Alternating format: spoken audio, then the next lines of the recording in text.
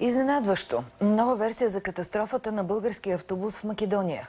Пострадали пътници ни потърсиха, за да разкажат, че това, което знаем до момента, не отговаря на истината. Техните свидетелства в репортажа на стъжант-репортера Владислава Тричкова.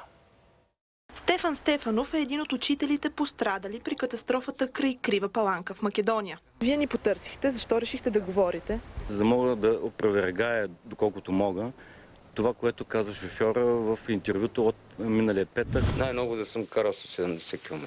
Срещу мен идваше тир.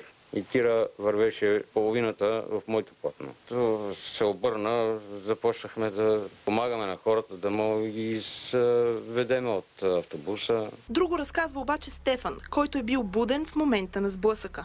Тир нямаше, защото ако е имало тир, аз би трябвало да, да видя тези светлини. Скоростта беше някъде над 70 км в час. Със сигурност скоростта не отговаряше на пътната обстановка. Думите му потвърждава и Диана Станчева. Не съм видяла аз лично тир. Стоях на третата седалка. Именно защото не видяли друг на пътя, първоначално Стефан помислил, че автобусът е спукал гума. Но в следващия момент автобусът се наклони и се обърна, което ми напрезума, че трябва да почна да, да се спасява хората от автобус, защото опасността да се взриви автобуса беше, каже, голяма опасност. Пътниците започват да се измъкват през една от вратите. Шофьорът помогна ли? Това беше последният човек, който извади от автобуса. Честно казано, при мен помисли, че е багаж. Побутнал го, видях, че, че е човек. Намерих вода, дина му главата, наплисках го с, с вода. Оказа се, че това е самия шофьор. Той беше изпаднал в тотален шок.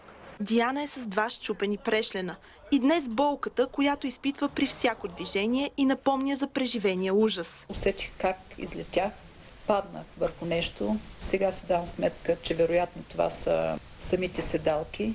Първата ми реакция беше да звъня на 112.